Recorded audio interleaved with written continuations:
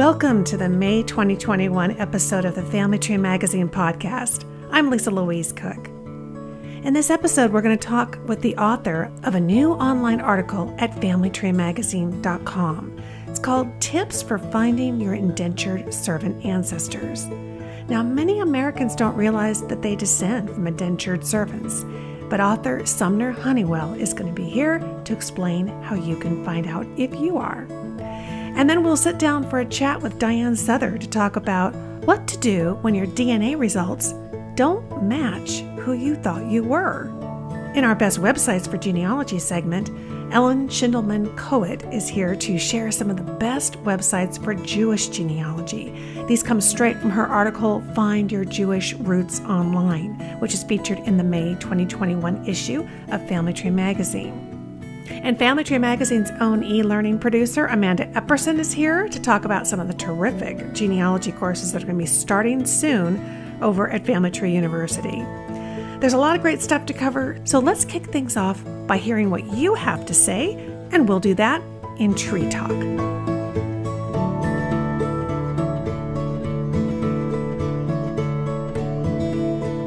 There are several big genealogy subscription websites out there. And Family Tree Magazine social digital editor, Rachel Fountain, has been making some inquiries on social media to find out which ones you think are the best investment. Welcome back to the podcast, Rachel. Hi, Lisa. Thanks for having me. So, Rachel, um, tell us a little bit more about the question that you posed and what kind of answers you got from the readers. Sure. That's one of the great things about um, social media is that it allows us to connect with our readers and hear about what's going on in their research and makes it more of a two-way street, which is cool. And we're always curious about, you know, what strategies and tools people are using and, you know, what's working for them and, and helping them um, in their research.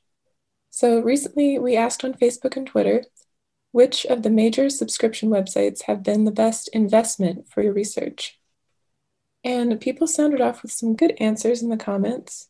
Um, I'm here on Facebook, and our follower, Donna Anderson, she said, It depends where your focus is. I get a lot of typical info from Ancestry. I haven't done as well with American ancestors. And then she goes on to say that MyHeritage has been great for her because she is involved in Swedish research. And then she also mentioned the site ArkivDigital for deeper Swedish research. So I think that's a great point. I think you know the website that works the best for you will not necessarily be maybe the most popular or the biggest but it will be the one that aligns the best with your research goals. So i think she made a great point. Yeah i and do then, too because i think that uh, each one of them kind of has those areas of strength. They they just can't have everything in all areas. So uh, mm-hmm. yeah that's a really good point and we can always use the free trials and and do a quick browse to see if they have the kind of stuff that we need.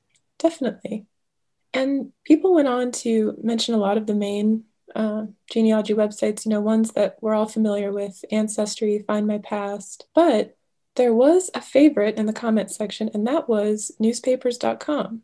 Let's see, our follower, Michelle A. Johnson, she said, I've gotten so much information from family obituaries that I find on newspapers.com. So that was I don't want to say unexpected, but it was cool to see how many people found newspapers.com useful and the resources they have there. So, yeah, it's a great example of a of a website that doesn't try to do everything, but really does as much as it possibly can in one record type, which mm-hmm. is newspapers. So, um, and of course, if they have the ones you need, I right. always say that you know the best newspaper website is the one that has the paper you need. So, right, that that is an excellent point. Well, great. So this was over at Facebook, and people can join the Family Tree Magazine Facebook group. You can go to facebook.com slash Family Tree Magazine.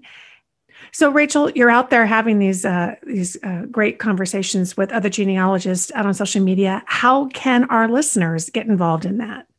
They can get involved by following us on Facebook and Twitter, um, and our other socials as well. I'll leave those links in the show notes, of course.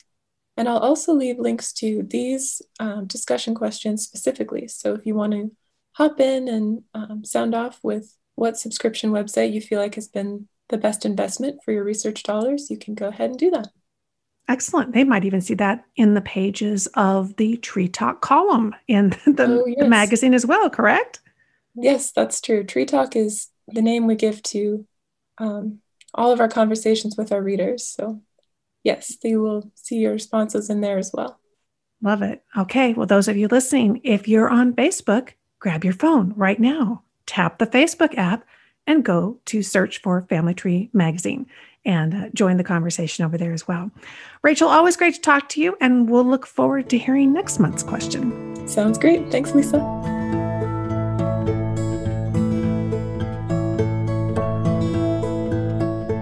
In centuries past, not everyone who wished to come to America could afford it. And as a result, indentured servants were common in American settlements. They worked a set period of time for a master in exchange for things like passage on a ship or their room and board. And if you've been wondering if by chance you have ancestors in your family tree who were indentured servants, or maybe you found one and uh, you'd like to learn more and find out how to go about researching them, my guest today can help. Sumner G. Honeywell is the former president of the National Society, Descendants of Colonial Indentured Servants. He is the author of the Family Tree Magazine online article. It's called Tips for Finding Your Indentured Servant Ancestors. Welcome to the show, Sumner. Well, thank you for having me. I'm happy to be here. You've been involved in uh, this kind of research for quite a, a long time, haven't you? And been involved with that society. Um, I've been interested in genealogy since I was a teenager. So that was in the 1970s. And really, in the last five years or so, I've come back and have dug a lot harder on my ancestry. And, and finding some indentured servants was sort of an exciting thing because um, we, we don't usually think of anybody coming over for that reason. You know, usually we're thinking someone's coming over, they're paying their way, uh, or they have family here, or what have you. And many cases these folks didn't. Exactly. Tell us a little bit more about how a person became an indentured servant and also what kind of time frame are we talking about? Sure. Um, indentured servitude actually went up until the in the 1800s. So, um, but even the earliest settlers that came over in Jamestown, there were scores of indentured servants that were shipped at one point in time. Uh, the people on the Mayflower, of the 104 passengers, uh, 14 were indentured servants. So they were essentially the idea being that I can't afford passage. I'm willing to go to a new world and find some advantage. It would, it would have to be advantageous to me, uh, not only the, the two month voyage in the ship, which you might not survive, also the fact that I'm, I'm going to be going someplace where it's it's sort of like home. it's definitely not quite like home. I mean, you're, you're in in a lot of places you're just starting from scratch. When you think about some of the earliest settlers, they were, um, you know, they had to make their own homes. They had no ancestry where they're living in mom and dad's house, or they've got assistance from family and things. So um, these guys are really taking a big chance coming over, but the rewards could be great.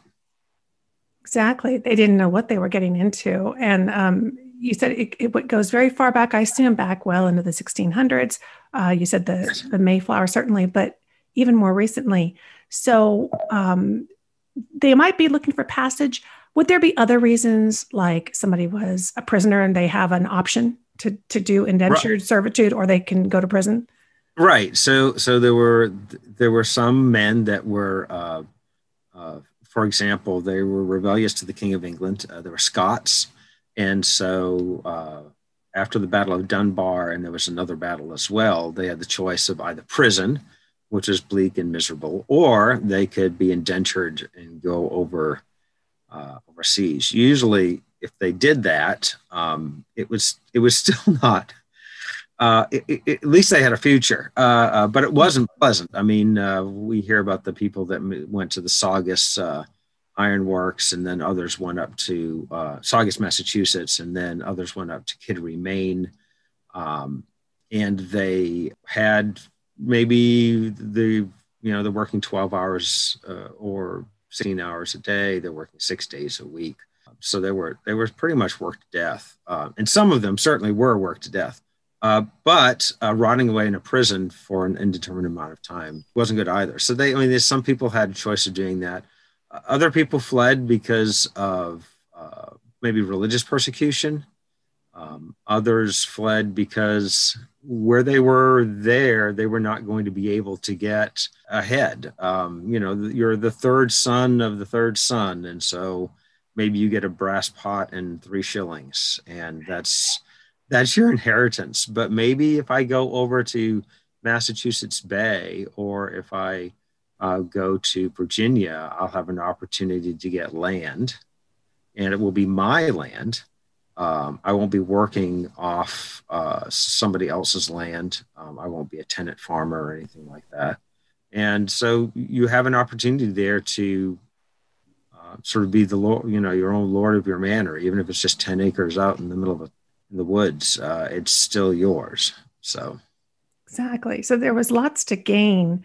What though was some of the price of that? What are some of what's an example of kind of the arrangements that they would have and how long they might have to serve a master? So the arrangement, an indenture is, is essentially a contract, and in many cases, you would have a copy of the contract, and your master would have a copy of the contract, and you would say, "I will serve for three years, or I will serve for five, or I will serve for seven years," and at the end of that contract, I will get something um, I'm in some cases it might be I get a new pair of clothes. It might be I get land. It could be money. Um, but it was it was an agreement. But also as as part of that, you as as a master, you had to hold up your end of the bargain. You had to make sure the guy was fed and housed and, and clothed and and your part as the servant was to make sure that you did what you were expected to do over that period of time. And because it was a contract, you could apply for redress, right? You could go to the court systems and say, um, this guy ran away. It cost me 10 pounds to bring him back. I want another year of service out of him uh, to pay for this. Or alternatively, um, maybe you're an indentured servant and you signed up for seven years, and some guy is trying to squeeze another year out of you. In some cases, the indentured servants can read, so you're up to you know the mercy of the guy who's holding the other piece of paper. Um, but the courts, because it was a contract, the courts could get involved, and um, there's uh, a resource online of Pennsylvania indentured servants who essentially went and said, you know, he's breaking the contract. and so they wanted, you know, he's not giving my clothes or, or he's not feeding me three meals a day or what have. Right. And so the expectation, it, it went on both sides. Some people would come and they would stay for a while and they would run away. Um, there are a lot of uh, books out there about runaway indentured servants, probably more in the 1700s, I think, than early on. And they actively pursued those. I know when I uh, visited the website of the society, you know, there were old newspaper articles, people looking for somebody mm-hmm. who who run away. Um, and I think I've seen different stories where lots of situations where they found ways to say, nope, you owe me another three years now. Nope, you owe me. I mean, th- that was a kind of a thing too, right? Right. So that, yeah, you, you have to be, they had to be careful. I mean, with any sort of uh, contract or whatever, or even the the the, uh, uh, the distance you are from people can make an effect. I mean, if you're out in the big piney woods, you may not have the ability to go to courts. Courts might be you know 50 miles away, um, and then your master can treat you any way he wants. So right. there, were, there was there was opportunity for abuse on both sides and yes, the, you can see these old great newspaper articles from it seems Philadelphia in particular, where they have runaway slave, uh, oh, not runaway slave, but runaway servant. Uh, he's uh, he's five four. Uh, he likes to gamble. He's got brown hair, blue eyes. He has got a scar. He's pockmarked or whatever, and, and they would try to capture these guys. Right. You mentioned men, but were women and children also sometimes indentured servants? Oh, oh absolutely. Yes. So, so some women would be indentured, and sometimes uh, women as well. Uh, you would sometimes it was a matter of later on, after more and more immigrants came here, you had more skilled immigrants. You might have a seamstress that comes over from Germany, or somebody who comes over from the Isle of Man, or, or what have you and they this guy is a, a, a goldsmith. You get some very, you know, you had a a population that could afford some finer things than just raw labor, and they would people would come over, and they would be able to uh, say, uh, "Well, I need a seamstress," and you might have a boatload of these skilled laborers coming over, and they would sell their services to the highest bidder. So if you needed a seamstress, you know how much are you willing to pay, and then that woman would be uh, in that family and doing that work for whatever the situation was involved. So it wasn't always that you brought somebody over and you knew who they were going to be. Sometimes you had people that were the middlemen that were bringing over these these uh, talented people to work for, for people. Um, in the case of children, you ran into situations where uh, maybe the father died and the mother could not take care of the children. At that point in time, a widow was usually uh, in, in dire straits because she had no unless she brought something into the marriage, she didn't have any right to the land or anything else that her husband had.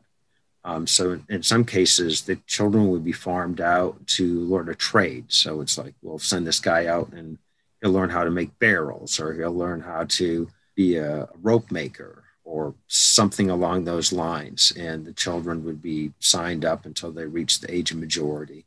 And at that point in time, they were um, expected to be able to pursue that, pursue that thing.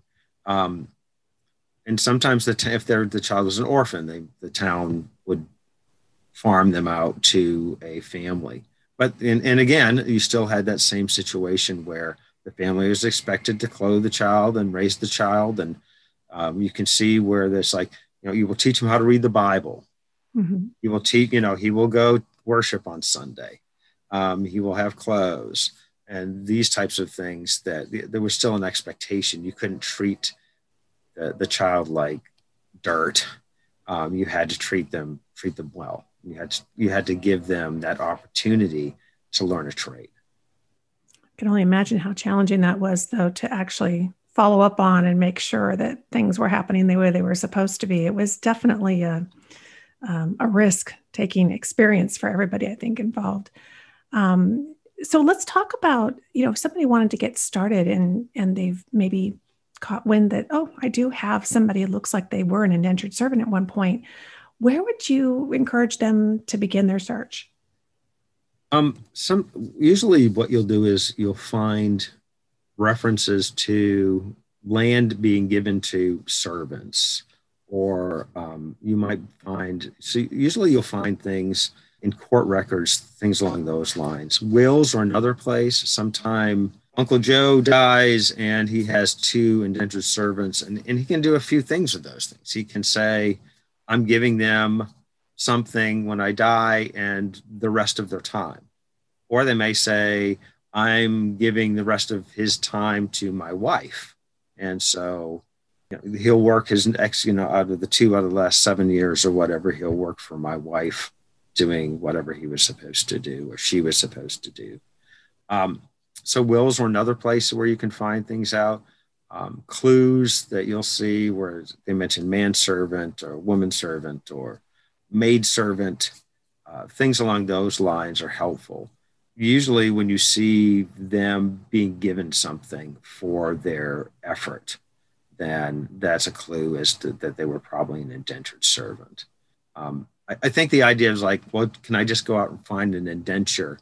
They're really hard to find the actual documentation, things like that. I think when you, it's easier to find those things as we get closer and closer to the present time, the 1800s, 1700s, late 1700s, you may be able to find those. But the early 1600s, I think, would be be hard unless they were a list of men, right? Like we'd said about the, the Battle of Dunbar, where it says these are the men who came over on this ship and they're being farmed out to this guy at this particular place to expected to work there for five or seven or three years or whatever.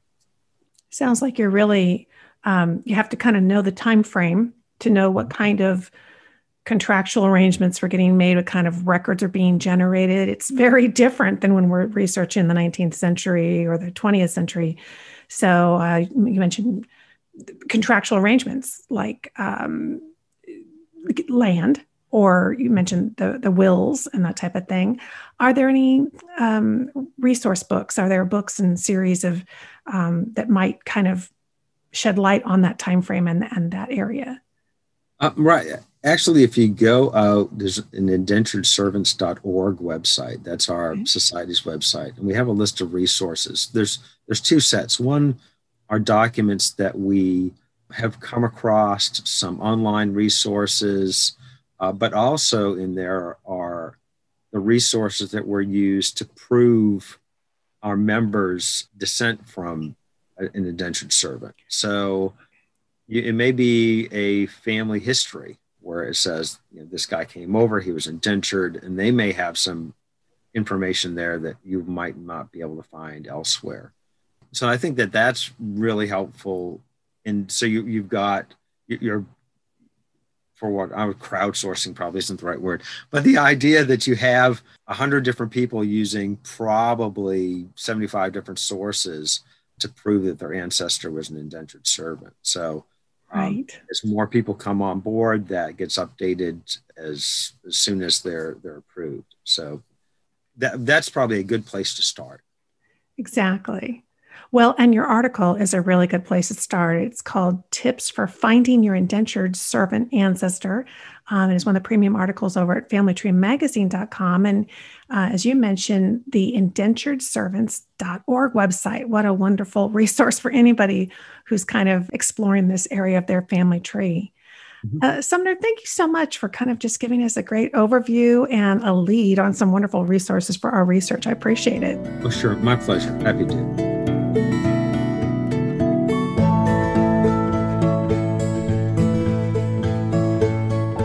Getting more and more common these days to come across news stories about people who found their life turned upside down by DNA testing. In today's DNA Deconstructed segment, Diane Southard's going to help us navigate those unexpected results. Welcome back, Diane. Thanks for having me, Lisa. And thanks for bringing up this really sensitive topic that I know more and more people are experiencing. Yeah, even if it hasn't happened to them, they may know somebody that it has happened to. And I know that you wrote about uh, this topic of unexpected DNA results recently in the uh, DNA Q&A column that's over on familytreemagazine.com. And I think the article was called My DNA Doesn't Match Who I Thought I Was. Now what? And I'm guessing uh, that this has probably come up with your clients as well in your own consulting business. So, what advice do you give people when wow, these DNA results are not what you thought. Perhaps um, a parent isn't your biological parent, or a sibling is not your sibling. Tell us about that. Yeah, no, it can be really hard to take. I've had many experiences with this. Um, as you said, consulting one on one with people, but also just at conferences, someone will hear a lecture that I give. I, I, had one experience where a lady came up to me afterwards. She goes, Oh, I just loved your lecture and I learned so much. And I just wanted to ask you about this DNA match that I don't recognize. And they, you know, show me their phone that has their DNA match list on it. And there is a half sibling. And they're totally innocently looking back at me, just earnestly wondering who this person is. And I'm in a room full of people. And oh, you know, it's really hard. And and I have to say, hey, let's let's talk about this a little bit later. let's let me finish up here and let's, you know, go somewhere in private because you know there the match is right there. And for many people that match has been there for months or even years and they've just been not really sure who it is or what to do about it or or not even recognizing how close it is. And so um, there there is that shock that happens initially certainly uh, when you learn something like this. Um, and and i think it's really important to recognize that it is shock and that mm-hmm. you probably shouldn't act on anything right away. Just Good advice. right?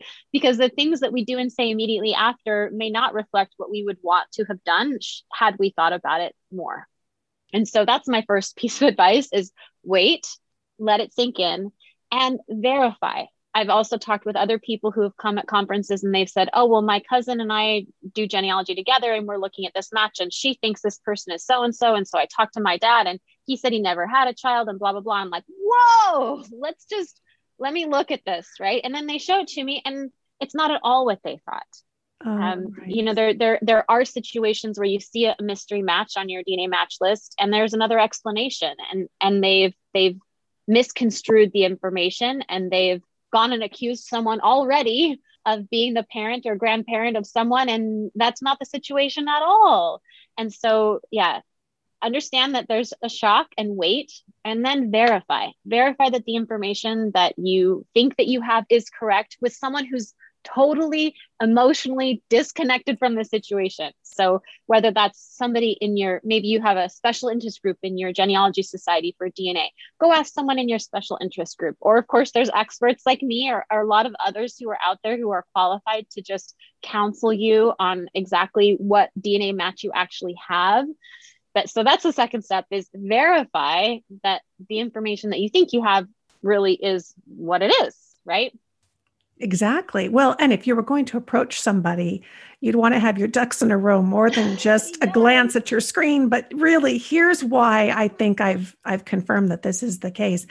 And it's interesting, you know, you were saying about taking your time. I mean, all these years they didn't know up until no this know. moment. So what's the yeah. rush, right? What's the rush? Exactly. And and and, and you will always be grateful that you waited and yeah. that you took the time another thing you can do is is once you've kind of gathered the information you've taken some time yourself to process it is to bring in that confidant whether that's your sibling or you know somebody else that's in the family that can help you decide how to move forward with the situation. So for example if you see this half sibling in your family tree and you know it's your half sibling you'd want to then go to the the parent that you believe is shared. If your parents are still alive before you talk to anyone else in your family you go directly to the source. That's so important. Don't go bring in your sister or your brother even or certainly don't bring in the other parent right you go to the the source and you say hey here's what i think that i found can we talk about this and have that situation worked out between just the two of you and then ultimately you let that parent decide how to move forward. Now, if everybody's passed away and you're finding this out at, you know, much later in your life, then I think it does help to bring in a sibling, a confidant, somebody that you can say, "Oh my goodness, look what we found. How should we move forward? What do you think we should do?" And and it's okay then to bring someone into your confidence and and counsel with them about how to handle this in the greater sense of your family. That's really good advice. I know some people, uh, when I've talked to them, they've actually been kind of excited. Oh my gosh, there's this whole new branch. But not everybody will necessarily share your excitement based on how it impacts them. And I thought it was interesting. You know, the question that uh, you had received that you talked about in the article was about, I'm not who I thought I was. And of course, I imagine that there's just to take a deep breath and reassure them you're exactly who you are. you just have more information, right? I mean, I would think absolutely. That- yeah. Thanks for bringing us back around to this question. If it's happening to you specifically, then it is important to remember that your genetics are just one piece of who you are. Yeah. They are a piece, and it is worth exploring and understanding what that piece means. But that doesn't mean you have to disregard all of the culture and the memories and everything that you've had. I feel like so many people, when they find out, for example, their father's not their father, they feel like all of the memories they have with the man who raised them are somehow tainted or mm-hmm. not real or something. And that's not true at all. Those experiences are, are all real. That relationship is real. That love is real. Those are our, our relationships to treasure. And I, I hope that people can see these discoveries not as chopping off a branch of your tree, but grafting in a new branch. You don't ever lose branches of your tree. You're just gaining branches. It's not all about biology. It is about family, is about culture and relationships and memories. I mean, you're not biologically related to your spouse, and yet you would never think they weren't part of your family, right? Biology isn't everything. Exactly. And there's so much more to it. In fact, all the memories and things you're talking about, those are all the things we crave to find in our own genealogy research. And so just adding more makes it a richer story all the way around. Well, very good advice. And of course, uh, you can learn more from Diane Southard over to her website, yourdnaguide.com. And I'll have a link in the show notes for this episode. Um, this May of 2021 episode of the Family Tree Magazine podcast, uh, the link will take you over to that article. My DNA doesn't match who I thought I was. Now what? Uh, Diane's always got great advice, and we look forward to talking to you next month as well, Diane. Thanks so much. Thanks, Lisa.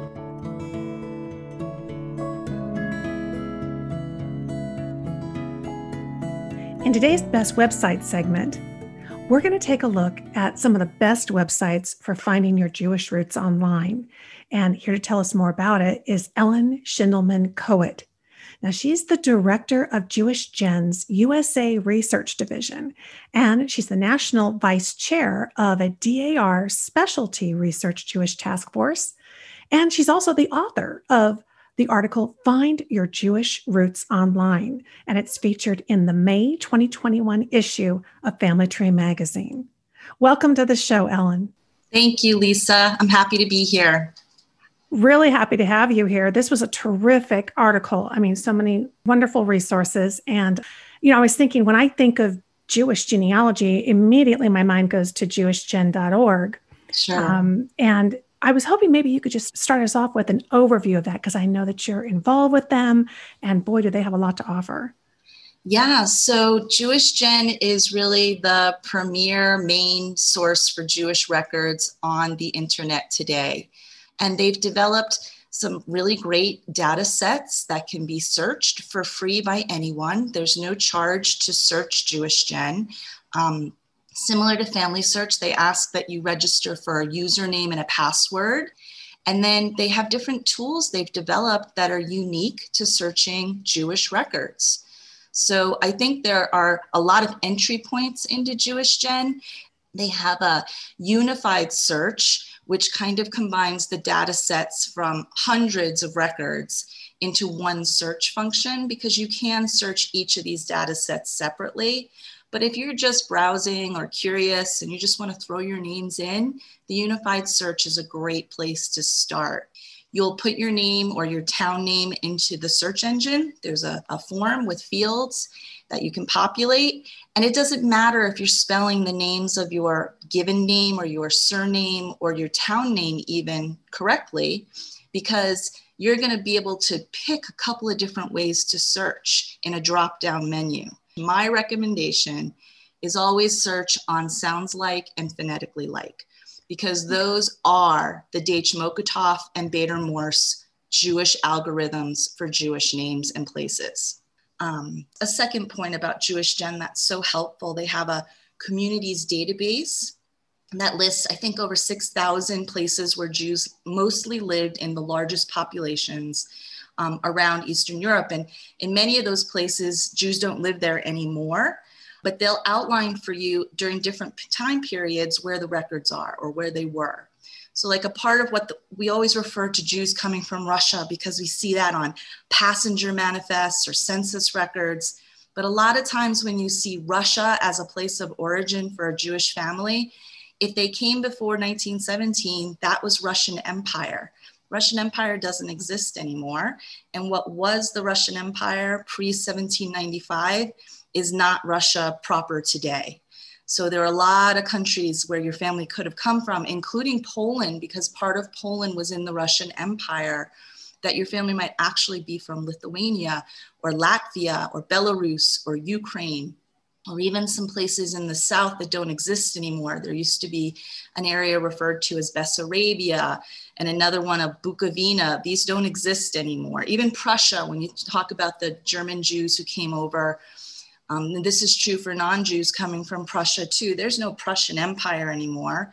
And what was the Prussian Empire is now largely Poland, parts of Russia, Germany, of course. Um, but it's misleading that if your family spoke German and said they were Prussian, that they were German the way we think of Germany today. And a lot of Jews came from Prussia, so that's why I mention it. So those are kind of the key things about Jewish Gen. That's amazing resource. What other types of websites might be out there for regional Jewish genealogy? Yeah, so it's a little confusing. There's a, a kind of a hierarchy it's not coordinated by any um, like organizing body, but there are three independently run Jewish uh, database sites. And when I say the names, sometimes people say, oh, well, that's a part of Jewish Gen. They're not, they're run independently. Okay. So the three are um, JRI Poland, which stands for Jewish Records Indexing Poland, uh, Gesher Galicia, and I'll define that area for you. And um, what we used to call Litvak SIG, and a SIG stands for Special Interest Group. So all three of these groups kind of had roots in Jewish Gen and then for different organizing reasons, all wanted to organize as independent nonprofits. But they share their data. Now, do they share all of their data? Do they share their data at the same time? Are they sharing it in the same place? The answers really vary. So this is why I always say if you're brand new, check out the unified search on Jewish Gen. Ancestry actually has some of Litvak SIG, some of JRI Poland, and some of Jewish Gen's records. And just recently, Litvak SIG released some of their records to MyHeritage. So there are there's some overlap back and forth on the data sets, but if you're from these three particular geographic regions, I wouldn't only be looking on Ancestry, Family Search, and Jewish Gen. I would always go to the original databases on each of their original websites. So Litvak SIG really stands for Lithuania, but Lithuania today is different than the geographic borders of Lithuania 100 years ago. So if when you look at modern day Lithuania on a map, if your family's coming from a part of Latvia or Belarus or an area of Russia, just kind of that surrounds that area, you might want to look there. I have this corner of southwestern Lithuania that a town, a part of my family came from, but it has also been Prussian, it has been Suwalki, Poland, and it's right near Belarus, but yet I found records in Lithuania and Litvak SIG. I've also found them in Suwalki for JRI Poland. So loosely, when you define your location, consider what's geographically around the modern day borders. But Lit- Litvak SIG is predominantly Lithuania, and a lot of Jews came from Vilnius and Kaunas and all these places up there. The second one is JRI Poland. So this group, they're fantastic in their records acquisition. They've had partnerships with the Polish State Archives. They give locations of microfilm that are um, for Polish municipalities at the Family Search digital collection. And they have tons of volunteers who've worked for 30 years. So it's extremely extensive. Um, for listeners that don't know, the Polish State Archives has largely gone online. So a lot of vital records are digitized and you can go right to the record. Now, it may be in Polish or Russian, but you can get to those records for free, just like you can on Family Search sometimes. So JRI Poland is just a powerhouse for getting access using their indexes first to locate if there are records for your family in a town, using the soundexes that are the Jewish soundexes, and then getting to the original record. So I just love JRI Poland and be loose on those borders because it's going to include Suwalki and those areas north on the Lithuanian Russian border, even the Belarus border, that Prussian border on the other side. So for JRI Poland, cast a broad net of something areas that were ever considered Poland, even on the southern side too. And then the third one is called Gesher Galicia, also run independently, also shares data with um, Jewish Gen. Galicia does not exist anymore. It was a designation for an area what today you would think of on a map as Western Ukraine and Eastern Poland. And a lot of Jews lived in Galicia. Unique to that area is that it was Austro-Hungarian Empire at one point, so the records are in German, not so much in Russian or in Polish. But Gesher Galicia's got a fantastic search engine on their database, and they're another powerhouse just continuing with their volunteer army of adding so many great data sets. They're really good too at uh, allowing you to list what towns you're researching if you join. And I think they have a small membership fee. In fact, each of them have a membership fee that they've added on. And I think that just gives you access to records maybe a little bit sooner. But these three often lumped in with Jewish Gen, but really organized as separate organizations. And they acquire records and index them in a different way. That's a great, a great overview. Oh mm-hmm. gosh. Okay. Now, another area I can think of as a roadblock area for folks in their research is around the Holocaust. Yeah. So, what kinds of resources do we have to conduct research when it comes to the Holocaust? So, it used to be, you know, I started doing this about 25 years ago, and either the records were not released by some of the archives in Russia or in the East, or they weren't in English um, or they weren't indexed. And so you would put in these requests and it would take literally years for certain repositories to answer just a basic inquiry yes or no we have a card on your family. Right. And i think there was a lot of mythology built around you can't document the holocaust and what happened to people. And what we're finding all these years later is there are so many records. Plenty of people are documenting their families we are continuing to find more resources available online, even from repositories that are traditionally not in English. It's hard to say where to start because the story of the Holocaust has also evolved. You know, it used to be we'd learn in school, if we even learned at all about the story of the Holocaust, that it was the story of the concentration camps and the Jews being gassed. And that's certainly true but there's so many other elements of the Holocaust, like the story of the one and a half million Jews killed in Ukraine before anyone ever was killed at Auschwitz. Mm. We call this the Holocaust by bullets. And the story in most of what was the Soviet Union at that time was that Jews were rounded out up and they, this is gruesome, but they were executed and left in mass graves that are unmarked largely throughout what was the Soviet Union. And so even Jews who knew their family were tied up in those kind of stories um, thought there's no way to figure out what happened or where, you know, what happened to my family or the town. Right. But we do have records. The Russians kept records. It turns out the Germans kept records. And a lot of this has become available online that you can search in English.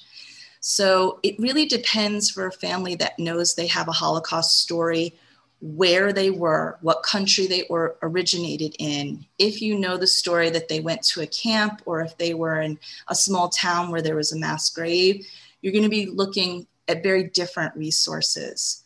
I would say if you only had to look at one and you wanted to just start this process, Yad Vashem in Israel's website in English would be the place to do a general top level search.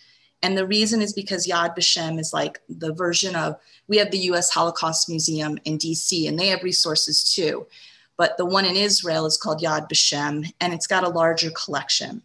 And they've also collected these pages of testimony from survivors who talk about their family members and where they last saw them, or if they know the exact story about where what happened to them or their whereabouts throughout the war.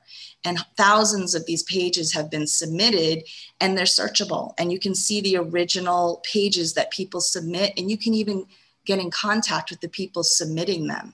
So it's a great networking opportunity for people looking to connect. Well, we'll have uh, all those resources that you've been mentioning in the show notes. I really appreciate you sharing all these wonderful resources. And of course, folks can visit you at your website, Ellen Kowitt, K O W I T T dot com.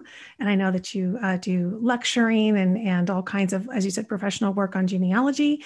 And uh, the article wonderful article find your jewish roots online in the may june 2021 issue of family tree magazine. Ellen it's been a delight to talk to you. Thank you so much for joining us here on the show Thank you so much for having me. I enjoyed it.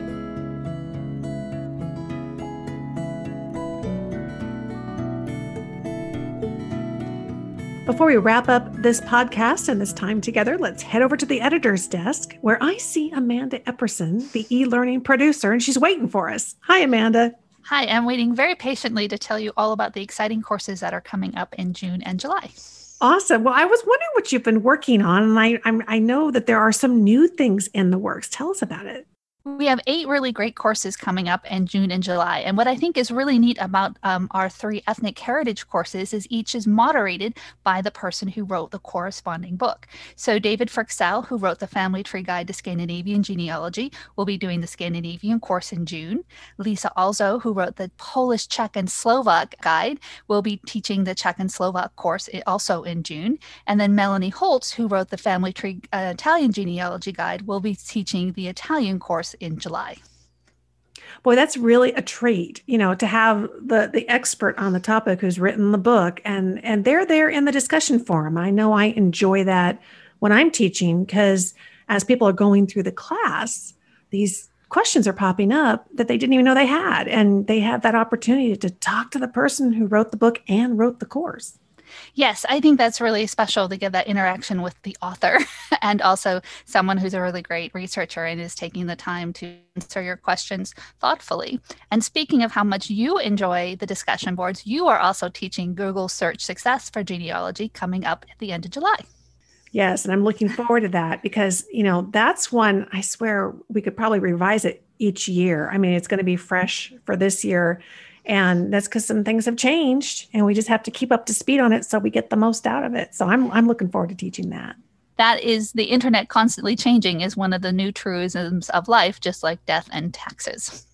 It's also in your google search success that i got one of my favorite tips for searching on the internet and that is when you're searching for YouTube videos, don't just search for your ancestor, search for like where they lived or organizations they belong to, because someone who posted a video of their ancestor might actually have your ancestor in it, even though they're not the main subject. Awesome. You did take my class. And that, that's one of my favorites too, you know, because people worry they'll think well no i don't need to look on youtube because i don't have famous people but they don't have to be famous. And we learn so we can see it. I love it. I love being able to see the events the places and and all those things. And uh, youtube's a great place to go. Awesome. I bet you pick up a lot of tips and things because you're going through these classes as well aren't you Yes, I look, you know, through them, you know, every time they're offered to double check URLs. Because again, the internet changes all the time. Uh-huh. And so I'm constantly learning new tips and tricks, some of which I just think are fascinating, like the importance of the time period of 1865 to 1870 for African American research to find out where your ancestors were between that time period to try and get them back to where they lived during the Civil War. And that doesn't even, as far as I know, apply to my own family. But the thing is, I often learn so much, I'm on to the next course and I've forgotten that tip and I'm on to the new tip, like um, the importance of community cookbooks from Gena Ortega's um, Make a Family History Cookbook course, where if you look in community cookbooks, your ancestors may have contributed to one and you could find an old family recipe in there. I can attest to that. I've had success with that. In fact, Amanda, one time I was speaking at a conference and I'm talking about this family, and a woman came up afterward and she gave me well she told me i'm going to mail you one. And she did. She had a cookbook from that town and it named uh, had recipes that i was looking for from bill my husband bill's ancestors. And she says somebody gave it to me but you should have this. So i mean it's amazing. It was really fun to see uh, and see women's names in there. You know a lot of times mm-hmm. we don't get as many women in the records. And so no.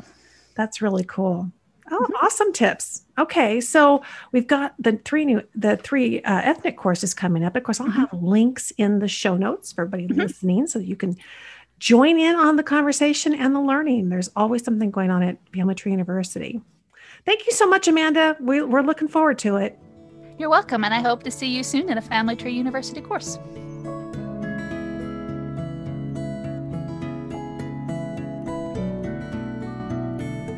Gosh, time flies when you're having fun talking genealogy, but it doesn't have to stop with this episode. Check out all the past episodes in any of your favorite podcasting apps.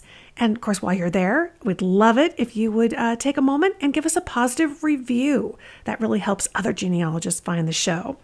And as always, you can find everything that we talked about in this episode at our show notes page.